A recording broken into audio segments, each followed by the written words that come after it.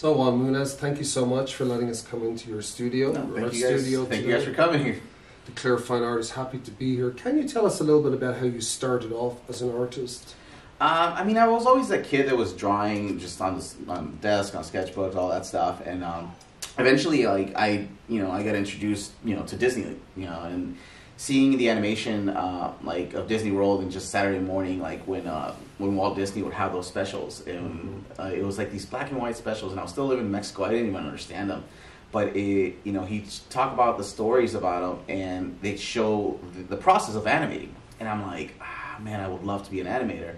And actually, living in Mexico, I was watching Saturday morning cartoons because I was so close to San Diego that I we get the feed from like um, just all the Saturday morning cartoon shows, and I learned to speak English watching American cartoons. Wow. So by the time I moved to the United States when I was in third grade with my family, like I spoke fluent English, Mhm. uh, and just animations in, in that story in general just always pushed me to wanting to be an artist. I didn't know what kind of artist I wanted to be. At first, I wanted, you know, I, I wanted to work for Disney just like everybody else. Yes. And eventually, it was, um, it kind of just led me into going to school to become an animator. After that, and after I graduated, I moved back to Vegas, and I didn't want to work a regular job, so I kind of got introduced into the tattoo world hmm around that same time, growing up in like in Southern California, I was also introduced into the graffiti world. So it was all these like elements that I just I fell in love with. Um, and as a kid, I was telling myself that I'm like one day I'd love to have a gallery show with these paintings in a nice, beautiful, fancy gallery, but the paintings will be all like cartoon style. Oh. Like I never thought that that would actually Right. become a thing. Like I thought art was, you know, it was like it was Manet, it was Rembrandt, you know. The most it was, you know, when you saw like Warhol and like Basquiat and Keith Haring, that was the closest to what I like fell in love with. And getting older and becoming more of a gallery artist and started doing more of those gallery shows, that's when I started getting introduced to the like the street art, pop art of it. And I realized that you didn't have to just be one type of artist. You didn't have to just be an animator or an illustrator, but you could branch out in many, many different options. And that's when I realized I can make a career out of this. Mhm. Uh, it, it was one of the hardest things that I've ever done, but honestly, like going 15 years into just doing this full time, being a parent, having two daughters, but taking that leap and doing what you love to do, I couldn't imagine going back to like a regular like nine to five now. Was there something in those early years when you were watching those Disney cartoons and you were saturating yourself in that culture that was do you think the desire came from inside of you or it's something that was just lit a fire by watching this on the screen? I think it was just that tiny little spark was always inside of me, Mhm. and Mhm. being, you know, such a such a kid that spent time alone. Like I had siblings, but I was the youngest in my family, and we had a tragedy very very young where my little brother passed away as a stillbirth, so and um, it, it left me alone in my own home, and I didn't really have nobody to play with. But I realized that watching these cartoons and watching these movies, um, all I wanted to do was to create. And when I found out what animation was, like the actual moving picture of the same cartoons that I was drawing, Uh-huh. I just focused on like things that normal kids just didn't really do. Like like kids would draw, but I'd go to museums uh, with school and like on all these field trips, and I'm stare- staring at these amazing paintings by the masters, and I'm like, I'm, I'm just so like enthused over like how is it made? You know, I'm looking, Yeah. you know, at a, like an 18th century painting, and I'm just like, why is this painting so realistic? Like, Right. why does it look like I could touch it? And while all the kids are running around the museum, I'm literally staring there. Yeah, I'm just staring. Like I'm, I'm getting as close as I can to this painting. Uh-huh. Sometimes I'm like two inches away, and I still do that to this day. Like I go to these museum exhibits, and I'll be part of these group shows. And every now and then I'll run into a painting where I'm just like, I have no idea how they did it. To me, it's like an amazing magic trick. Mhm. Like I'm a magician as well, but I don't know how to do that trick.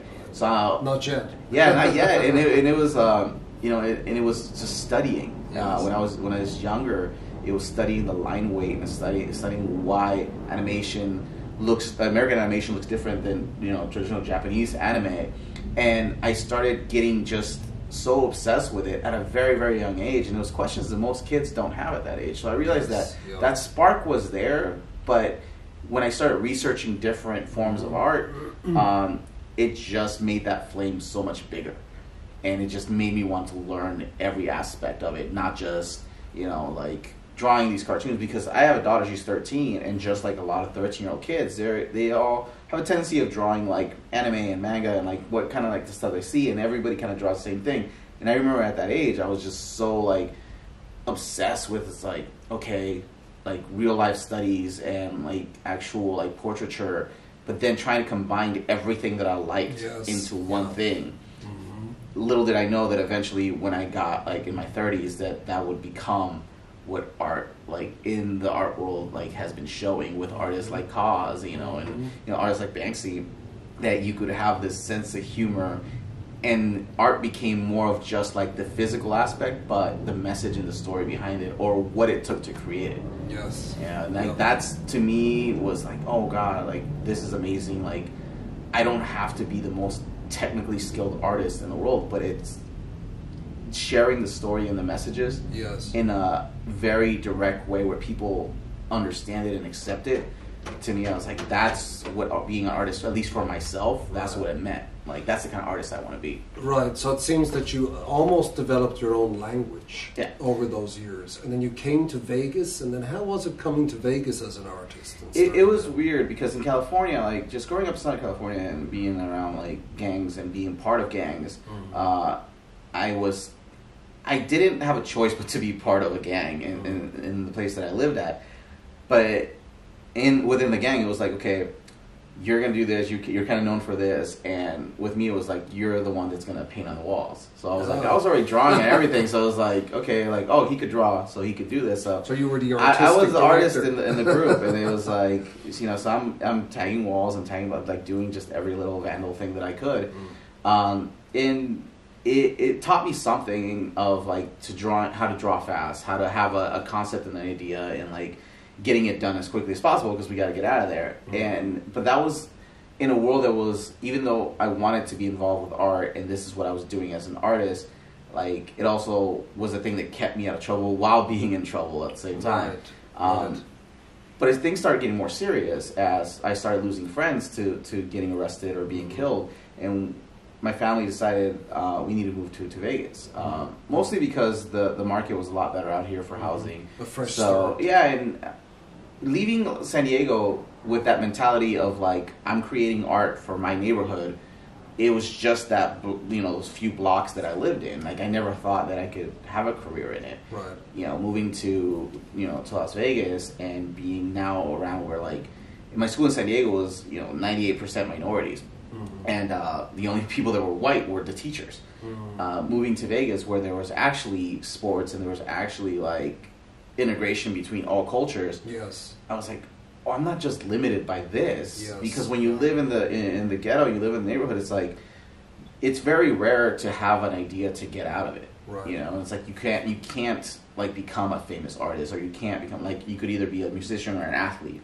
Mhm. Um, moving to Vegas actually allowed me to be like, okay, I could actually probably do this for a living. It wasn't until my senior year it- I was always the kid drawing in class, but it wasn't until my senior year where I finally took my first art class. And wow. my my teacher was like was telling me you need to create a portfolio. You need to Yeah. you need to start looking into art schools. And i'm like i college to me it was just weird. And art school was just like a fantasy. It wasn't real.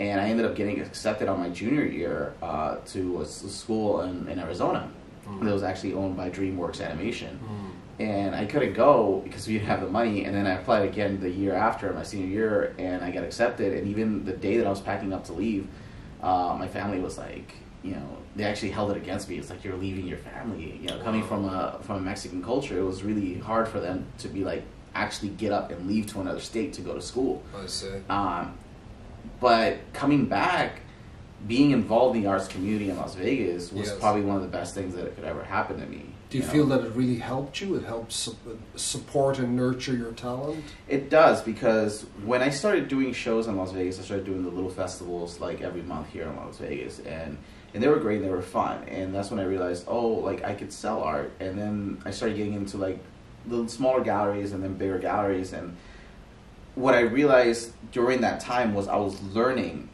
to not only create the art for the shows, but also how to talk about my art, talking Mhm. to collectors or people that visit the Mhm. gallery, and Or you know, learning. Yeah, it's like Yeah. learning how to like sell your art and yourself yes. because that's how I was gonna like make money. Yes. And what always I always felt like, you know, having a regular nine to five, you know, being married at the time and having two daughters, like Mhm. it's it's a crazy leap to take. Yes. Uh, but I didn't have a choice because I felt like I'm holding my own self back from this, and it's Mhm. it's the fear of having to provide for your family. But Mhm. in any other city, I think I would have been too scared or just like too much competition to do that. If I would have gone to LA or New Mhm. York, Right. I would have felt lost. In Vegas, uh, even though there's always been an art community here, if you put a little bit extra effort and you keep pushing forward and you start seeing it as you know, as your career, as your life, as your business, you're able to like reach certain levels that you wouldn't reach in other cities just because there's so much other like things that will block you in cities like Los Angeles, San Yes, Francisco, and New York. yes, In Vegas, it is like that. There's not that many people doing it in that scale. Um, I might as well just take that torch and run with it. Yes, it seems as well in Vegas that there is a very big approach. Yeah. In your art as well, it has a very large universal theme. It seems to me that is that something that's always been endemic to you as a person. I think what it big? was, yeah, I think what it was is that I started creating a, a specific like, the, the bunny character Felipe, and it was based on the idea that like an older artist um, kind of just gave me a tip. It was like try to do it, you know, try to do a show with one character and make it personal. I created the show and I was like, it's it's too personal, but I, I really dig deep and to the issues and my fears that I was dealing with at the time.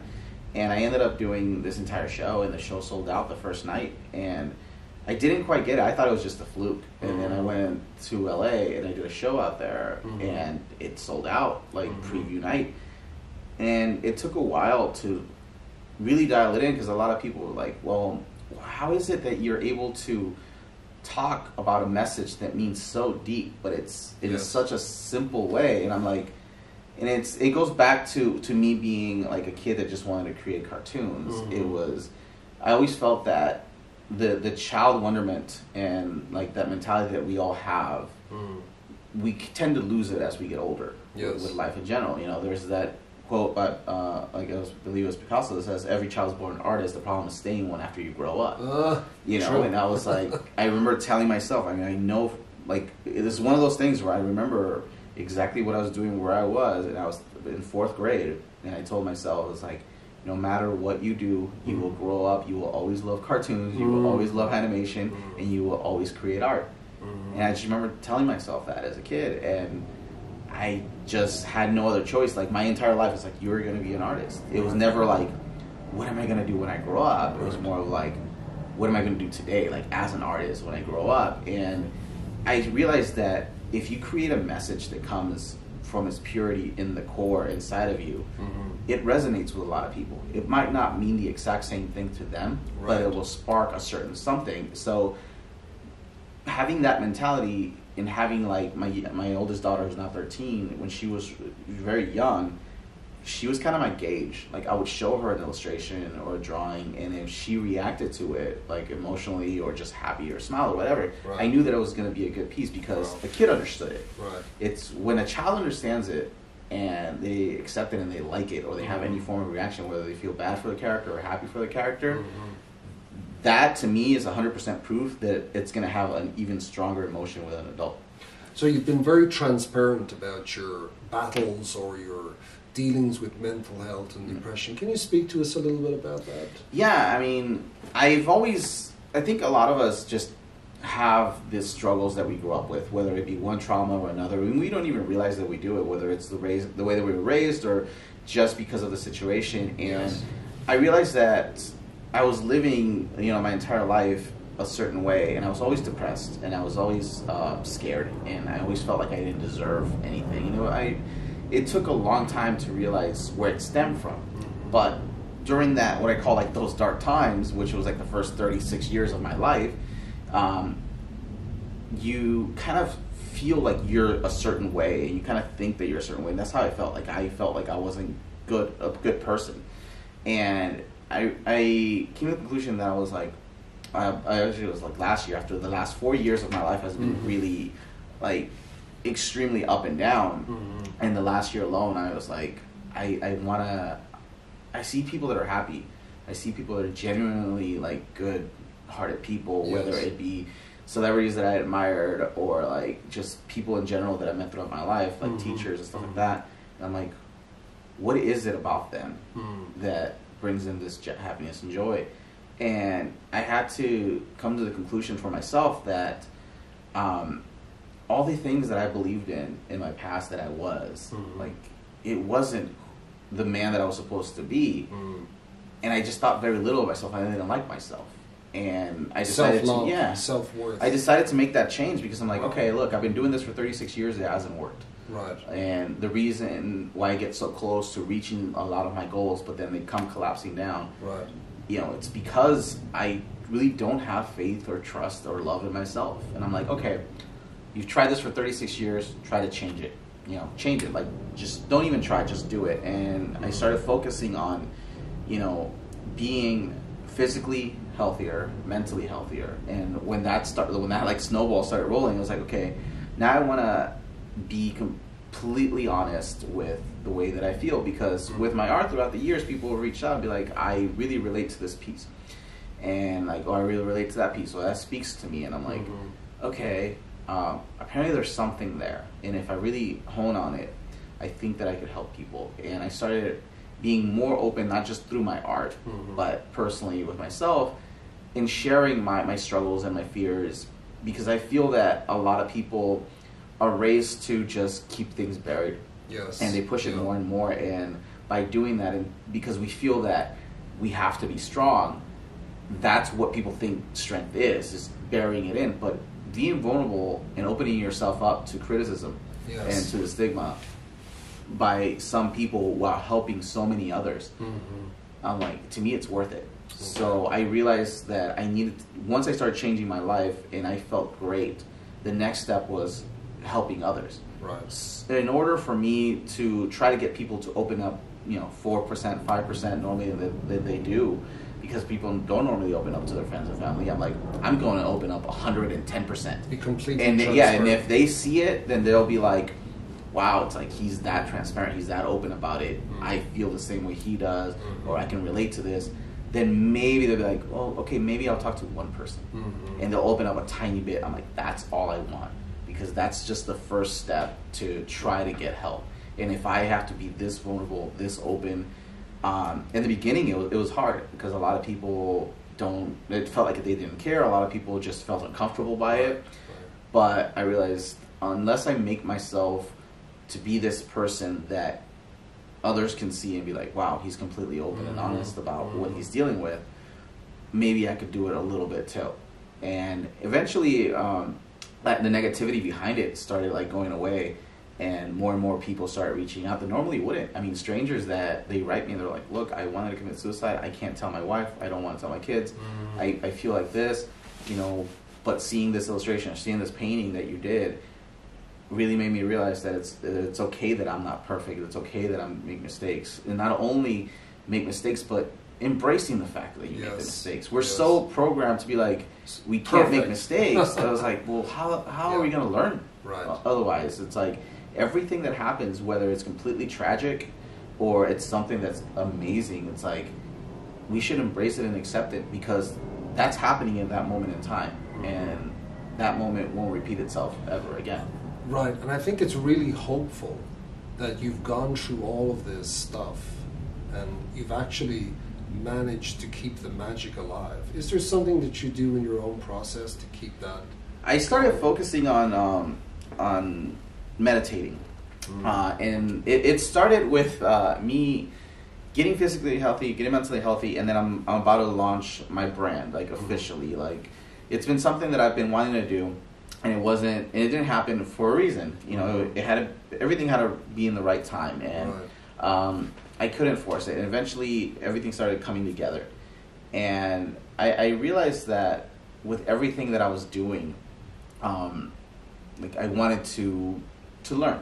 You know, I didn't have time to go back to school, so I started looking for books of people that were, you know, that launch brands that have successful companies. Mhm. And I started reading books, uh, you know, by you know, Tony Hsieh actually from Zappos has a great book called Delivering Happiness, and then there's another book, um, you know, that with Russell Simmons and just a lot of entrepreneurs, um, you know, uh, Branson, and and then I started like reading. I started realizing that they focus on like on just meditation, and they and they would talk about like, oh, I read this book by Tony Robbins, and then mm-hmm. I'm like, okay, so then I go look at that book. Wow. So then I started seeing a correlation between all these people that they're like, they take time for self care, Right. they take time to meditate.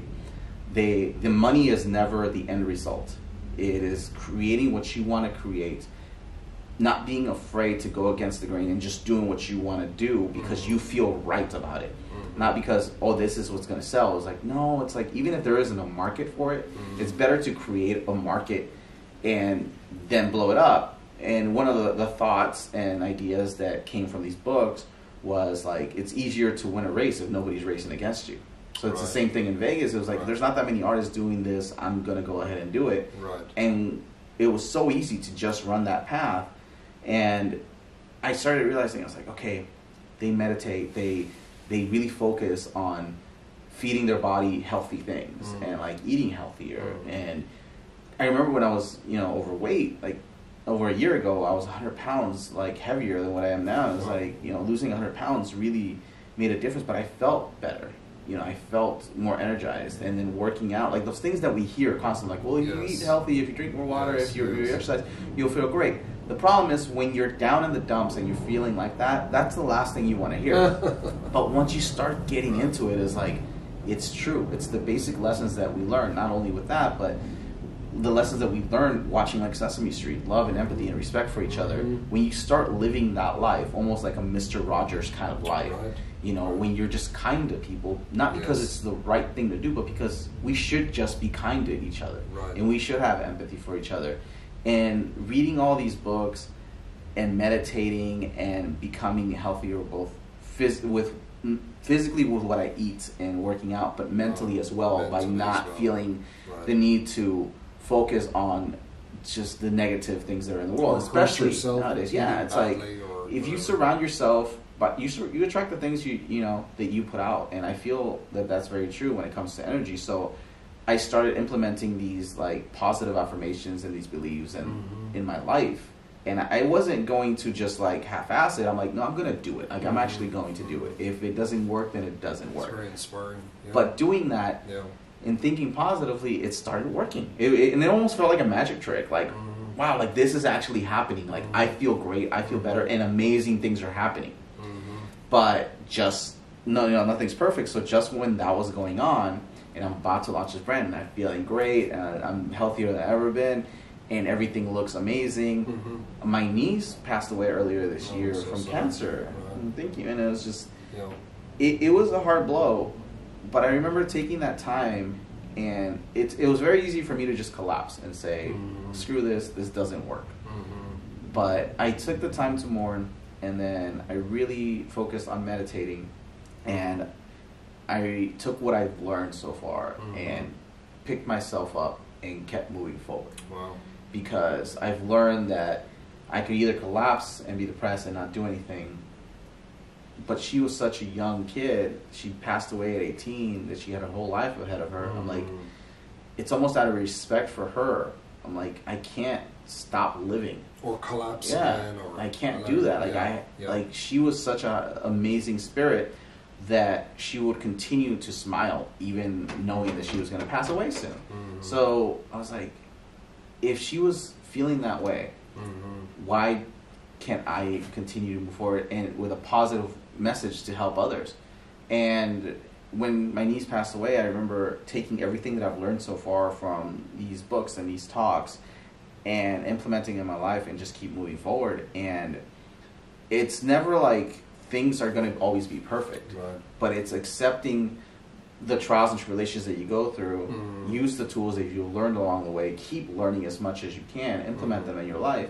That way you're better suited to handle these negative things that happen. Mhm. Mhm. So it's there's days where I feel completely depressed. There's days where I feel the fear of anxiety because at the end of the day, I don't have a regular nine to five. Right. Like everything that Especially I do. during yeah. this unpredictable time. Especially of during these times, and in the beginning when when COVID was really like Has hitting that, im- hard, yeah, has that impacted you greatly, or it impacted me more in the sense that I I wanted to get the message out there even more. Right. Like I wanted to be more outspoken for it because when people didn't feel that like very early on it, a lot of people were just kind of annoyed that they were inside. They couldn't really go out. And Yeah. I kind of started thinking ahead. I'm like, yeah, it's really going to affect with people in a you know in a mental health kind of way, Mhm. whether they've had mental health issues before Mhm. or they're going to have them or they're prone to them, um, or even the people that do have them. It's just going to be like ten times fold. It's going to get worse, and people aren't realizing it right away. But I feel that I need to start working on this now. right. That way, when it really starts hitting people, there's going to be at least somebody out there Mhm. you know and that was just one aspect of it Mhm. because when that was in the middle of going on then everything started happening with the police and people getting killed and Right. you know all The these riots, and everything. Yeah. and i'm just like so then it, it went from me wanting to talk about mental health which is such a strong issue Mhm. that we need to focus on talk to kids about it talk to adults about it have adults open up teach little kids that it's okay to Mhm. you know to not be perfect right. and ha- give them tools to handle feelings. But now it's like, okay, there's this other aspect, which is like this whole violence and racism, and this side versus that side with elections coming up. Yeah. And I remember that day, it was just, it was too much for me to handle. Right. And I turned off the TV and I sat with my kids and we watched Mr. Rogers. Mhm.